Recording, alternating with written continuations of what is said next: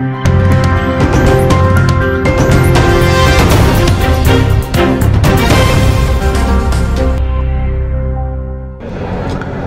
రోజుల్లో ఎన్నో రకాల సమస్యలతో మీ దైనందిన జీవితంలో ఇబ్బందులు ఎదుర్కొంటూ మరొక వైపు రాజకీయ చైతన్యాన్ని కూడా ప్రదర్శిస్తూ సందర్భం వచ్చినప్పుడు మరి ముందుకు వచ్చి ఈరోజు తెలంగాణ రాష్ట్ర సమితి నాయకుడు పెద్దలు గౌరవనీయులు మన ముఖ్యమంత్రి కేసీఆర్ గారిని తిరిగి గెలిపించుకుందామనే స్ఫూర్తితో వందలాదిగా విచ్చేసిన సోదరులకి సోదరీమణులందరికీ హృదయపూర్వకంగా మనస్ఫూర్తిగా నేను అభినందనలు తెలియజేస్తా ఉన్నాను.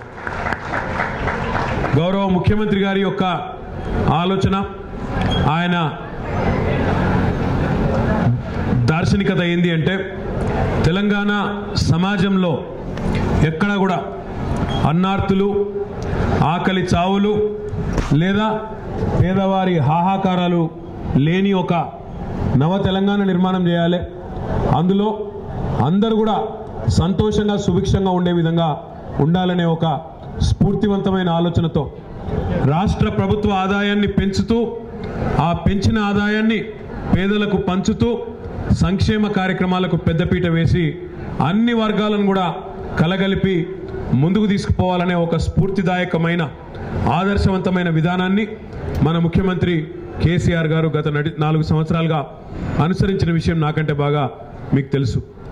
ఈ దేశంలో ఇరవై తొమ్మిది రాష్ట్రాలుంటే ఈ ఇరవై తొమ్మిది రాష్ట్రాల్లో ఏ రాష్ట్రంలో లేని విధంగా నలభై మూడు శాతం బడ్జెట్ను బడ్జెట్లో ఒక రూపాయి ఖర్చు పెడితే అందులో నలభై మూడు పైసలను పేదవారి సంక్షేమానికే ఖర్చు చేస్తున్న ఏకైక ప్రభుత్వం భారతదేశంలో తెలంగాణ ప్రభుత్వం అని చెప్పి కూడా గర్వంగా చెప్పుకోవచ్చు.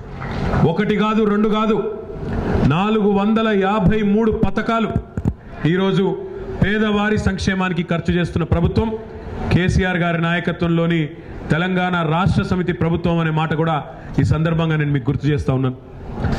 ఒక పెన్షన్ల విషయమే తీసుకుంటే దివ్యాంగులకు కానీ వితంతువులకు కానీ వయసులో పెద్దవారికి కానీ ఒంటరి మహిళలకు కానీ అదే రకంగా ఎయిడ్స్ వ్యాధిగ్రస్తులకు కానీ బోధకాలు ఉండేవారికి కానీ అదే రకంగా కుల వృత్తుల్లో చితికిపోయిన నేతనలకు కానీ గీతనలకు కానీ అందరికీ కూడా ఈరోజు దేశంలో ఎక్కడా లేని విధంగా సంవత్సరానికి ఐదు వేల ఆరు వందల కోట్ల రూపాయలు ఖర్చు పెడుతూ నలభై మూడు లక్షల మందికి ఆసరాగా నిలబడ్డ ఏకైక ప్రభుత్వం భారతదేశంలో కేసీఆర్ గారి ప్రభుత్వం అని చెప్పి నేను మీకు గుర్తు చేస్తా ఉన్నా. గతంలో దివ్యాంగులకి కాంగ్రెస్ ప్రభుత్వంలో ఐదు వందల రూపాయల పెన్షన్ వచ్చేది. దాన్ని మనం మన ప్రభుత్వం రాగానే వెంటనే పెంచుకున్నాం. దేశంలో ఎక్కడా లేని విధంగా పదిహేను వందల రూపాయలు చేసుకున్నాం. కానీ భవిష్యత్తులో మీ అందరి ఆశీర్వాదంతో మీ అందరి దయతో మళ్ళీ కేసీఆర్ గారు డిసెంబర్ పదకొండు తర్వాత ముఖ్యమంత్రిగా పదవీ బాధ్యతలు చేపట్టిన తర్వాత దాన్ని మూడు వేల పదహారు రూపాయలకు పెంచుకోబోతా ఉన్నాం అన్నమాట కూడా ఈ సందర్భంగా నేను మీకు తెలియజేస్తా ఉన్నాను. మూడు వేల పదహారు రూపాయలతో ఎవరు కోటీశ్వరులు అయిపోరు. ఎవరు ఆస్తులు కూడబెట్టుకోలేరు. దివ్యాంగులు కూడా కోరుకునేది నిజంగా కూడా సానుభూతి కాదు. సకలాంగుల నుంచి మీరు కోరుకునేది సానుభూతి కాదు. కేవలం ఆత్మగౌరవంతో మీ బతుకు మీరు బతికే విధంగా మీ కుటుంబాన్ని మీరు పోషించుకునే విధంగా మీకు చేయూతనిచ్చే విధంగా ప్రభుత్వం నిలబడితే చాలు. మేము సమాజంలో అందరితో పాటు సరి సమానంగా నిలదొక్కుంటామనే ఒక ఆత్మవిశ్వాసాన్ని మీరు ఏదైతే ప్రకటిస్తూ ఉన్నారో దానికి అండగా నిలబడేదానికి మీకు ఒక గౌరవంతో మీకు ఎవరి ముందు చేయి జాపే పరిస్థితి లేకుండా మీరు మీ పాటికి మీరు ఆత్మగౌరవంతో బతికే విధంగా ప్రభుత్వ పరంగా చేయుతనీయాలన్న ఆలోచన తప్ప వేరేటి కాదు అని కూడా ఈ సందర్భంగా నేను మీకు విజ్ఞప్తి చేస్తూ ఉన్నాను. ఒక మాట తమ్ముడు శ్రీనివాసులు గారు అన్నారు. అన్న మా శాఖను తీసుకొని పోయి మహిళా శిశు సంక్షేమ శాఖలో విలీనం చేయడం వల్ల మాకు కొంత ఇబ్బంది ఉన్నది.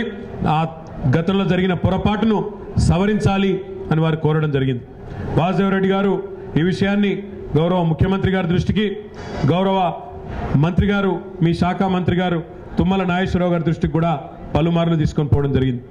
ఇక్కడ మీకు ఒక సాంకేతిక పరమైన సమస్య ఏదైతే మనకు అడ్డం వచ్చిందో దాన్ని కూడా మీకు చెప్పాల్సిన బాధ్యత మా మీద ఉన్నది. ఈరోజు రాజ్యాంగం ప్రకారం ఏ రాష్ట్రంలో కూడా పదిహేను శాతానికి మించి అంటే ఆ శాసనసభలో ఉండే స్థానాలను బట్టి దానిలో పదిహేను శాతానికి మించి మంత్రులు ఉండడానికి వీల్లేదు. తెలంగాణలో నూట పంతొమ్మిది శాసనసభ్యులు మనని మన శాసనసభలో ఉన్నారు. నూట పంతొమ్మిది శాసనసభ్యులుంటే మనకి కేవలం పద్దెనిమిది మంది మాత్రమే మంత్రిమండలిలో ఉండేదానికి అవకాశం ఉంది. మరి ప్రభుత్వ శాఖలేమో యాభై నాలుగు యాభై ఐదు శాఖలు ఉన్నాయి ముఖ్యమైన శాఖలు. మరి అందుకే ముఖ్యమంత్రి గారు అనివార్యమైన పరిస్థితుల్లో ఆనాడు ఒక నిర్ణయం తీసుకొని మన వికలాంగుల శాఖను కూడా మహిళా శిశు సంక్షేమంతో కలిపి ఒక సమిష్టిగా ముందుకు తీసుకొని పోవాలన్న ఆలోచన తప్ప ఎవరిని కించపరచాలన్న ఆలోచన పొరపాటున కూడా మనకు లేదు. నిజంగా చెప్పాలంటే నేను గర్వపడతా ఉన్నా ఈరోజు. ఎందుకు అంటే ఇప్పుడే తమ్ముడు శ్రీనివాసులు గారు చెప్పినట్టు నిన్నగాక మొన్న రెండు రోజుల కిందట మీరందరూ పేపర్లో కూడా చూసే ఉంటారు. కేంద్ర ప్రభుత్వంతో మనకు వైరం ఉన్నది రాజకీయంగా. నరేంద్ర మోడీతో మనకు పడది. ఆయన సిద్ధాంతం వేరు మన సిద్ధాంతం వేరు.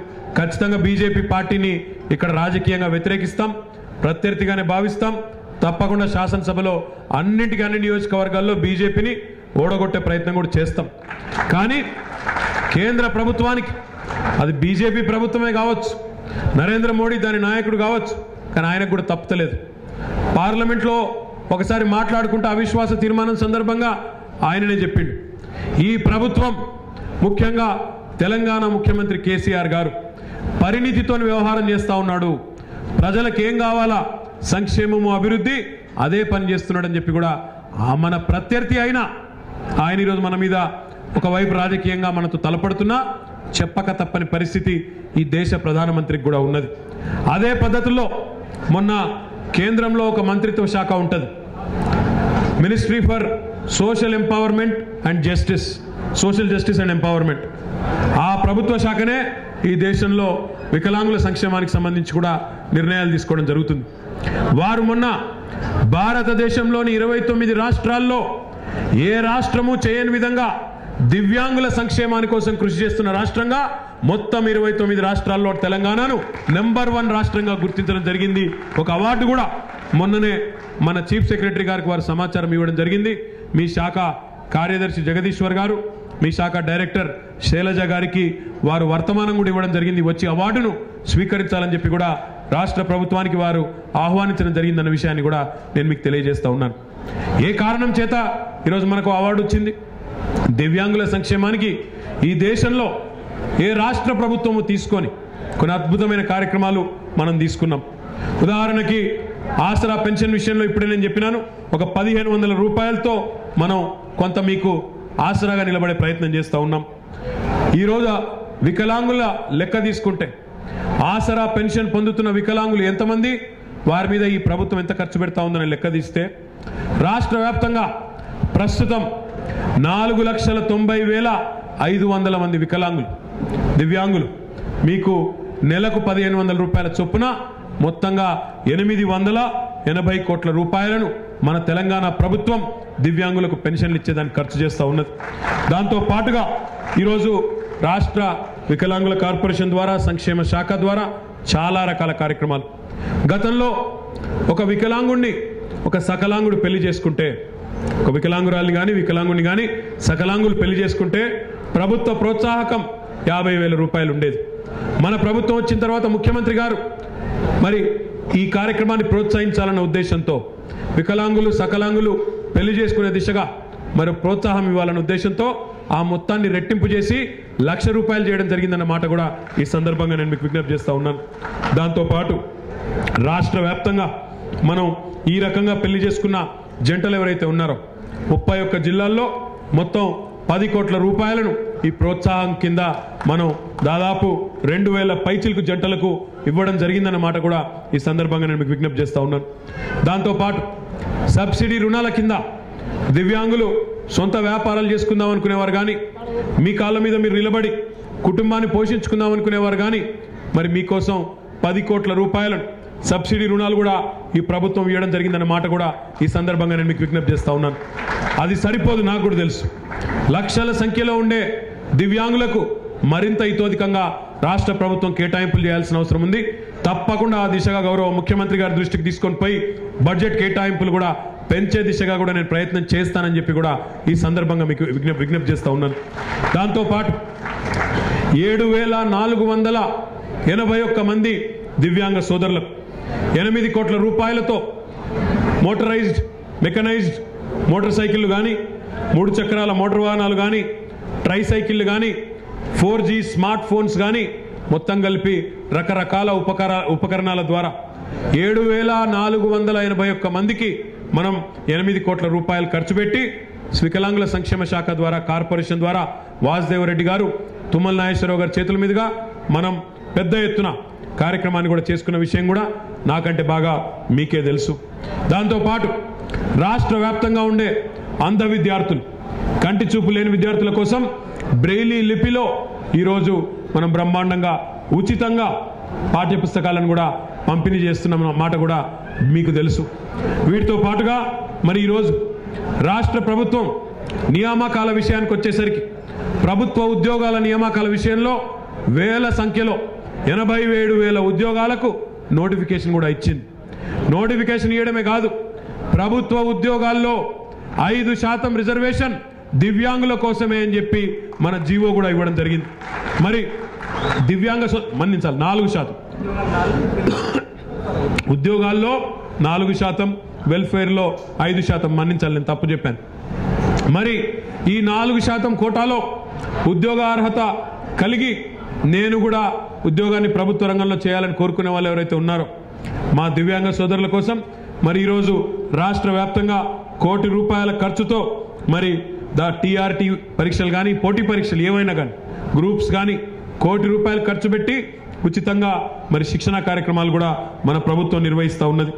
వాటితో పాటు గాంధీ ఆసుపత్రి కానీ ఎంజిఎం ఆసుపత్రి కానీ ఆయా ప్రాంతాల్లో మరి శారీరక వికలాంగుల కోసం కృత్రిమ పరికరాలు అమరు చేసే కార్యక్రమాన్ని కూడా మరి రాష్ట్ర వ్యాప్తంగా ముఖ్యమైన ఆసుపత్రుల ద్వారా ఉచితంగా చేసుకుంటూ ఉన్నాం. పౌష్టిక ఆహారాన్ని ఇచ్చే కార్యక్రమం రాష్ట్ర వ్యాప్తంగా వసతి గృహాలు వికలాంగుల వసతి గృహాలు ఏవైతే ఉన్నాయో అక్కడ మరి ప్రతి ఆదివారం చికెను మటను ప్రతి బుధవారం మళ్ళీ నాన్ వెజిటేరియను ప్రతిరోజు కోడిగుడ్డుతో పౌష్టికాహారాన్ని ఇస్తూ మరి బలంగా బ్రహ్మాండంగా ఉండే విధంగా పౌష్టికాహారాన్ని కూడా ఇచ్చుకుంటా ఉన్నాం. ఇందాక నేను చెప్పినట్టు ఉద్యోగ అవకాశాల్లో నాలుగు శాతం ఉన్నత విద్య మరి ఉపాధి అవకాశాల్లో ఒక ఐదు శాతం రిజర్వేషన్ కూడా సంక్షేమ రంగంలో చేసుకున్నాం. వీటితో పాటు రాష్ట్ర వ్యాప్తంగా రెండు లక్షల అరవై రెండు వేల డబుల్ బెడ్రూమ్ ఇళ్ళ నిర్మాణం ఏదైతే జరుగుతూ ఉన్నదో ఆ డబుల్ బెడ్రూమ్ ఇళ్ళలో కూడా మరి దివ్యాంగ సోదరుల కోసం మరి మొత్తంగా ఐదు శాతం ఇండ్లను కేటాయిస్తూ కూడా రాష్ట్ర ప్రభుత్వం ఇదివరకే నిర్ణయం తీసుకున్న మాట కూడా నేను ఆర్డర్ కూడా ఇచ్చి ఉన్నాము. ఇది ఆల్రెడీ ఇచ్చిన మాట కూడా ఈ సందర్భంగా నేను మీకు విజ్ఞప్తి చేస్తా ఉన్నాను. దేశంలో ఎక్కడా లేని విధంగా హైదరాబాద్లోని మీ వికలాంగ కార్పొరేషన్ సంక్షేమ భవనం పక్కనే మలక్పేటలో దేశంలో ఎక్కడా లేని విధంగా జాతీయ ప్రమాణాలతో నాలుగు కోట్ల రూపాయలతో ఒక అద్భుతమైన పార్కును మీ సంక్షేమం కోసం ఏర్పాటు చేసిన ఏకైక ప్రభుత్వం భారతదేశంలో తెలంగాణ ప్రభుత్వం అనే మాట కూడా ఈ సందర్భంగా నేను మీకు విజ్ఞప్తి చేస్తూ ఉన్నాను. ఇట్లాంటి పార్కులు ఇందాక వాసుదేవరెడ్డి గారు మాట్లాడుతూ ఒక మాట అన్నారు. దివ్యాంగులకు సంబంధించి ప్రత్యేకమైన భవనాలు మీరు ఎక్కడికక్కడ మీ సమస్యలు చర్చించుకునే దానికి ఎక్కడికక్కడ మీరు సమావేశాలు పెట్టుకునే దానికి జిల్లా కేంద్రాలలో ఏర్పాటు చేయాలని వారు కోరినారు. తప్పకుండా నేను మీ అందరికి హామీ ఇస్తా ఉన్నాను. దివ్యాంగ సోదరుల కోసం ప్రతి జిల్లా కేంద్రంలో ప్రత్యేకంగా ప్రభుత్వ నిధితో ప్రభుత్వ నుంచే డబ్బులు కేటాయించి మీకు భవనాలు కట్టించడం. దాంతో పాటుగా దానికి అనుసంధానంగా కొన్ని ప్రత్యేకమైన పార్కులు కూడా నిర్మాణం చేయడం. ఇది కూడా తప్పకుండా మళ్ళీ మీ ఆశీర్వాదం ఉంటే చేస్తామని చెప్పి కూడా నేను మీకు విజ్ఞప్తి చేస్తూ ఉన్నాను. వీటితో పాటు నేను ఒక సంవత్సరం కిందట శ్రీనివాసులు కూడా వచ్చినాడు ఆ ప్రోగ్రాంకి. ఇక్కడ ఒక ఐటీ కంపెనీ ఉన్నది బేగంపేటలో. వింధ్యా ఇన్ఫో మీడియా సర్వీసెస్ అని ఒక కంపెనీ ఉన్నది. ఆ కంపెనీ నేను ఒకసారి ప్రారంభించడానికి పోయినాను. అందులో దాని ప్రత్యేకత ఏంటంటే ఆ కంపెనీది ఆ కంపెనీలో పనిచేసే ఉద్యోగుల్లో తొంభై శాతం దివ్యాంగులే. మరి దివ్యాంగులు ఒక చోట కూర్చొని పనిచేసే పరిస్థితి ఉంటుంది కాబట్టి మీకు నైపుణ్య శిక్షణ ఇచ్చి ప్రత్యేకంగా మీకు అట్లాంటి కొలువులు కూడా దక్కాలన్న ఉద్దేశంతో హైదరాబాద్లోనే శంషాబాద్ ప్రాంతంలో ఒక పది ఎకరాల స్థలంలో ప్రత్యేకంగా దివ్యాంగుల కోసం ఒక ఐటీ పార్కును కూడా ఏర్పాటు చేస్తా ఉన్నాం అందులో. మరి చదువుకున్న పిల్లలు ఎవరైతే ఉన్నారో వారికి కొలువులు వచ్చే విధంగా ప్రత్యేకంగా నైపుణ్య శిక్షణ కూడా ఇచ్చి ఆ కంపెనీలకు కూడా ప్రత్యేక రాయితీలు ఇచ్చి ఎందుకంటే దివ్యాంగులను రిక్రూట్ చేసుకుంటే వారికి ప్రత్యేకమైన ప్రోత్సాహకాలు కూడా ఇచ్చి మనం మిమ్మల్ని కూడా మరి మీ కాళ్ళ మీద మీరు నిలబడే విధంగా మీ కుటుంబాన్ని మీరు కాపాడుకునే విధంగా ఒక ఆత్మగౌరవంతో బతికే విధంగా ఇన్ని కార్యక్రమాలు చేసుకుంటా ఉన్నాం. నేను మళ్ళీ చెప్తా ఉన్నాను. ఈరోజు మనం చేస్తున్న ఈ కార్యక్రమాలు మీరు కావాలంటే ఇక్కడ రకరకాల సంఘాల నాయకులు ఉన్నారు. మీరు చెక్ చేసుకోవచ్చు. భారతదేశంలోని ఇరవై తొమ్మిది రాష్ట్రాల్లో ఏ రాష్ట్రం కూడా ఇన్ని కార్యక్రమాలు ఇన్ని ప్రభుత్వ ఉత్తర్వులు ఇచ్చి దివ్యాంగులకు అండగా నిలబడ్డది? ఏ ఒక్క ప్రభుత్వం కూడా లేదు ఒక కేసీఆర్ గారి ప్రభుత్వం తప్ప అనే మాట గర్వంగా చెప్పొచ్చు అన్న మాట కూడా నేను ఈ సందర్భంగా మీకు విజ్ఞప్తి చేస్తా ఉన్నాను. కానీ ఇంకా చేయాల్సిన పని చాలా ఉంది. మీ అందరికీ కూడా తెలుసు కేవలం దివ్యాంగులకని లేదా సకలాంగులకని కాదు ఈ రాష్ట్రాన్ని సవ్యమైన బాటలో ముందుకు తీసుకొని పోయే క్రమంలో కష్టపడి సాధించుకున్న ఈ రాష్ట్రాన్ని ముందుకు తీసుకుపోవాలనే తపనతో మన ముఖ్యమంత్రి కేసీఆర్ గారు ఆనాటి ఉద్యమ నాయకుడుగానే ఈ ప్రాంత సమస్యలన్నింటినీ కూడా అర్థం చేసుకొని ఇప్పుడు సోదరుడు శ్రీనివాసులు ఇక్కడ ఉన్నాడు ఫ్లోరోసిస్ బాధితుడు. ఆయన చెప్తా ఉన్నాడు నాకు చెవిలో అన్నా నేను ఒక్కనే కాదు నా కుటుంబం మొత్తం కూడా ఫ్లోరోసిస్ వ్యాధితో మరి ఈ మాదిరిగా అంగవైకల్యం మాకున్నదన్నా అని చెప్పినాడు. ఒక్కసారి మీరు ఆలోచించాలని చెప్పి నేను కోరుతా ఉన్నాను. అంగవైకల్యం అనేది ఫ్లోరోసిస్ అనేది నల్లగొండ జిల్లాలో రావడానికి కారణం ఎవరో ఒక్కసారి ఆలోచన చేయండి. పంతొమ్మిది వందల యాభై ఆరులో ఆనాడు ఆంధ్ర తెలంగాణ కలిసిన నాడు నల్లగొండలో ఫ్లోరోసిస్ లేదు. అప్పుడు లేదు. తలాపున కృష్ణానది బారుతా ఉన్నది. తలాపున కృష్ణానది బారుతున్నా భూమి పొరల్లో భూమి అడుగులో ఉన్న ఫ్లోరోసిస్ పైకి వచ్చి తాగునీటిలో ఆ విషం కలిసి దాంతో ఈరోజు రెండు లక్షల మంది నల్లగొండ జిల్లాలో ఫ్లోరోసిస్ వ్యాధిగ్రస్తులై జీవచ్చవాలై నడవలేని పరిస్థితిలో ఉండి రకరకాల ఇబ్బందులు కింద పడితే బొక్కలిరిగిపోయే పరిస్థితి బొక్కల్లో మూలుగా చచ్చిపోయిన పరిస్థితి అంగవైకల్యంతో ఈరోజు మరి మానవ సంబంధాలే దెబ్బతినిపోయే పరిస్థితి. దీనికి కారణం ఎవరో దయచేసి మీరు ఆలోచించాలని చెప్పి నేను కోరుతా ఉన్నా. పంతొమ్మిది వందల యాభై ఆరులో ఆనాడు ఈ రాష్ట్రం ఏర్పడినాడు ఆంధ్రప్రదేశ్ అనే రాష్ట్రం ఏర్పడినాడు ఫ్లోరోసిస్ లేదు. కానీ ఎట్లా ఎట్లా అయితే కాంగ్రెస్ ప్రభుత్వాలు తెలుగుదేశం ప్రభుత్వాలు నాయకులు ఆ జిల్లాలో ఉండే నాయకులు వాళ్ళ ఆస్తులు పెరిగినాయో వాళ్ళ ప్రభుత్వాలలో వాళ్ళ పదవులు పెరిగినాయో అట్లా అట్లా ఒక మహమ్మారిలా ఈ ఫ్లోరోసిస్ కూడా నల్లగొండ జిల్లాలో పెరుగుతూ వచ్చింది. ఈరోజు కలిసొచ్చే కాలానికి నడిచొచ్చే కొడుకొస్తారని సామెత. ఇన్ని రోజులకు తెలంగాణలో నల్లగొండలో ఇన్ని రోజులకు ఇన్ని దశాబ్దాల తర్వాత ఫ్లోరోసిస్ అనే మహమ్మారి వచ్చి అక్కడ బతుకు ఛిద్రం చేసిన తర్వాత ఇన్ని దశాబ్దాల తర్వాత ఒక ముఖ్యమంత్రి కేసీఆర్ గారి రూపంలో వచ్చి ఈరోజు ఇంటింటికి స్వచ్ఛమైన శుద్ధమైన ఉపరితల నీటిని అందించడం ద్వారా భవిష్యత్ తరాలకు ఫ్లోరోసిస్ అనే వ్యాధి లేకుండా ఫ్లోరోసిస్ అంటే ఏందో మళ్ళీ చరిత్ర పుటల్లోనే మిగిలిపోయే విధంగా ఈరోజు ముఖ్యమంత్రి గారు తీసుకున్న నిర్ణయం వల్ల మిషన్ భగీరథ కార్యక్రమం వల్ల ఆ ఫ్లోరోసిస్ పీడిత ప్రాంతాలు దేవరకొండ కానీ మునుగోడు కానీ ఇంకా ఆ జిల్లాలో ఇంకా ఇతర నియోజకవర్గాలు కానీ శాశ్వతంగా విముక్తులు కాబోతా ఉన్నారన్న మాట కూడా ఈ సందర్భంగా నేను మీకు తెలియజేస్తా ఉన్నాను. ఈరోజు ఆ నల్గొండ జిల్లాలో పెద్ద పెద్ద నాయకులు ఉన్నారు. పెద్ద పెద్ద నాయకులు రికార్డు సమయాలు కేబినెట్ మంత్రులుగా పనిచేసిన వాళ్ళు ఉన్నారు.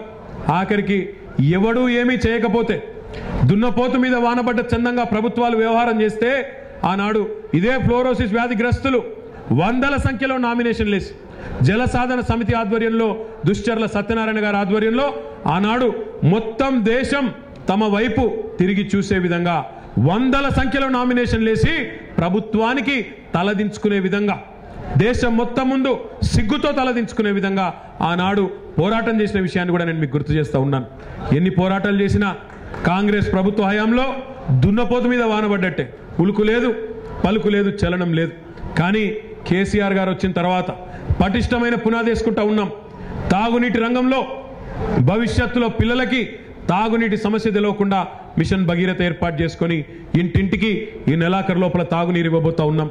అదే మాదిరిగా ప్రతి ఊర్లో ఉన్న చెరువును బాగు చేసుకొని మిషన్ కాకతీయ అనే కార్యక్రమం కింద ఆ ఊళ్ళో గ్రామీణ ఆర్థిక వ్యవస్థకు కేంద్ర బిందువైన రైతుకు పెద్దపీట వేసి ఆ రైతు చుట్టూ ఉండే ఇతర కుల వృత్తులు బాగుండాలన్న ఉద్దేశంతో ఊరి చెరువును బాగు చేసుకునే కార్యక్రమాన్ని చేపట్టాం. గతంలో కరెంటు ఉంటే వార్త ఈరోజు తెలంగాణ వచ్చిన తర్వాత మన ముఖ్యమంత్రి కార్యదక్షతతో కరెంటు పోతే వార్త అయిందన్న మాట కూడా ఈరోజు నేను ఒక్కసారి సందర్భంగా మిమ్మల్ని గుర్తు చేసుకోమని కోరుతా ఉన్నా. ఇరవై నాలుగు గంటల కరెంటు వ్యవసాయానికి ఇరవై నాలుగు గంటల కరెంటు ఇళ్ళకు ఇరవై నాలుగు గంటల కరెంటు పరిశ్రమలకు ఇస్తూ భారతదేశం మొత్తంలోనే అందరూ ఆశ్చర్యపడే విధంగా ఒక సుదీర్ఘకాలంగా పెండింగ్లో ఉన్న సమస్య సుదీర్ఘకాలంగా ఈ రాష్ట్ర ప్రజల్ని వేధించిన సమస్యను పరిష్కరించుకున్నామన్న మాట కూడా ఈ సందర్భంగా నేను మీకు తెలియజేస్తా ఉన్నాను. సాగునీటి ప్రాజెక్టులు శరవేగంగా కట్టుకుంటా ఉన్నాం. కాళేశ్వరం కానీ పాలమూరు కానీ అదే మాదిరిగా సీతారామ కానీ వీటి వల్ల తెలంగాణలో కోటి ఎకరాల మాగాణం మనం చేసుకోవాలి మన మొత్తం రాష్ట్రం పచ్చబడాలనే ఒక సంకల్పంతో పనిచేస్తూ ఉన్నాం. మరి ఇంత వేగంగా ఇన్ని కార్యక్రమాలు తీసుకొని ముందుకు పోయే ఈ సందర్భంగా సంక్షేమాన్ని అభివృద్ధిని కలగలిపి రెండింటిని జోడెద్దుల మాదిరిగా కలగలిపి ముందుకు తీసుకొని పోయి ముఖ్యమంత్రి గారు ప్రయత్నం చేస్తూ ఉంటే ఎన్ని రకాల ఆటంకాలు ఎన్ని రకాలుగా మనల్ని ఇబ్బంది పెట్టే ప్రయత్నాలు జరుగుతూ ఉన్నాయో మీరే చూస్తూ ఉన్నారు. ఈరోజు చిత్ర విచిత్రమైన మనుషులు ఒక దగ్గరికి వచ్చి కూటమిగా ఏర్పడతా ఉన్నారు. ఒకరి మీద ఒకరు నలభై ఏళ్ళు కత్తులు దూసుకున్న వాళ్ళు ఇవాళ ఒకటైతా ఉన్నారు. ఎక్కడ లేని ప్రేమను ఈరోజు మా దివ్యాంగ సోదరుల మీద కానీ రాష్ట్రంలోని పేద ప్రజల మీద కానీ కురిపించే ప్రయత్నం చేస్తూ ఉన్నారు. ఒక్క మాట మీరు ఆలోచించాలని చెప్పి నేను కోరుతా ఉన్నా. గతంలో ఎన్నడూ అరవై ఏడేళ్ళలో రెండు వందలు దాటి పెన్షన్ ఇయ్యని వాళ్ళు ఇవాళ రెండు వేల పెన్షన్ ఇస్తున్నామని మాట్లాడుతున్నారంటే అది ఈ గులాబీ కండువా యొక్క దెబ్బకు వాళ్ళు జడిసి కాదా ఒక్కసారి మీరు ఆలోచించాలని చెప్పి నేను కొడతా ఉన్నా. ఏనాడు శ్రీనివాసులు చెప్తున్నాడు ఒకప్పుడు పెన్షన్ రావాలంటే ఊళ్ళో ఒకటి చేస్తే ఇంకోటికి ఇచ్చేది. ఇవాళ ఈ ప్రభుత్వం వచ్చినాక ఎంతమంది అర్హులు ఉంటే అంతమందికి అర్హులకు ఇస్తున్న ప్రభుత్వం ఇది. ఎవరో సాగు కోసం ఎదురు చూడాల్సిన పరిస్థితి లేదని చెప్తా ఉన్నాడు. అంటే నిజంగా పేదవారికి మంచి చేయాలన్న ఆలోచన ఉంటే ఇరవై నాలుగు గంటల కరెంటు గురించి ఆలోచన వస్తుంది. ఇంటింటికి తాగునీరు సోయి వస్తుంది. కరెంటు బాగు చేసుకోవాలన్న ఆలోచన వస్తుంది. అదే మాదిరిగా బ్రహ్మాండంగా అన్ని రకాల కార్యక్రమాలు సన్నబియ్యం కళ్యాణ్ లక్ష్మి షాదీ ముబారక్ ఆసరా పెన్షన్లు పేదవారి ముఖంలో చిరునవ్వు చూడాలన్న ఆలోచన నడిపే పాలకులకుంటే మంచి పథకాలు వస్తాయి. అదే కేవలం మా ప మా కథ ఏంది మా ఆస్తులేంది మా పదవులేంది అంటే కాంగ్రెస్ ప్రభుత్వం మాదిరిగా ఉంటుంది. మిమ్మల్ని అందరూ నేను కోరేది ఒకటే. దశాబ్దాల వెనుకబాటుతనం దశాబ్దాల పోరాటం ఇవన్నింటి తర్వాత ఈరోజు మొత్తానికి తెలంగాణ ఏర్పడే పరిస్థితి వచ్చింది. తెలంగాణ ఏర్పడిన తర్వాత ముందుకు పోయే పరిస్థితి వచ్చింది. మరి ఈ పరిస్థితుల్లో మీ అందరినీ కూడా నేను కోరేది ఒకటే. బ్రహ్మాండంగా కేసీఆర్ గారి నాయకత్వంలో అన్ని రంగాల్లో పరిశ్రమల రంగంలో కావచ్చు దివ్యాంగుల సంక్షేమం కావచ్చు అభివృద్ధి కావచ్చు సాగునీటి ప్రాజెక్టులు కావచ్చు తాగునీటి ప్రాజెక్టులు కావచ్చు మన్ననలు అందుకుంటా ఉన్నాం. జాతీయ స్థాయిలో అంతర్జాతీయ స్థాయిలో అవార్డులు అందుకుంటా ఉన్నాం. మరి పనిచేసే ప్రభుత్వం మీ నుండి కోరుకునేది ఒకటే.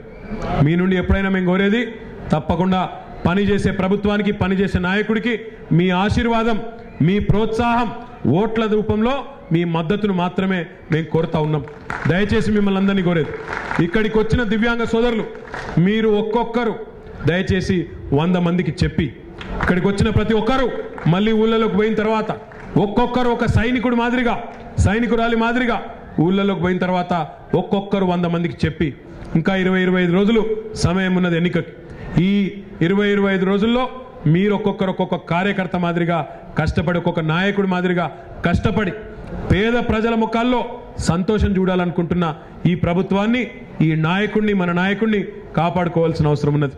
తెలంగాణ దీర్ఘకాలిక ప్రయోజనాలు నెరవేరాలి అంటే మన నీళ్ళ మీద మన నిధుల మీద సంపూర్ణంగా మనకే ఆధిపత్యం ఉండాలి. మన వనరుల మీద మనకే హక్కు ఉండాలంటే తప్పకుండా స్వీయ అస్తిత్వం తెలంగాణ అస్తిత్వమే మనకు శ్రీరామ రక్ష.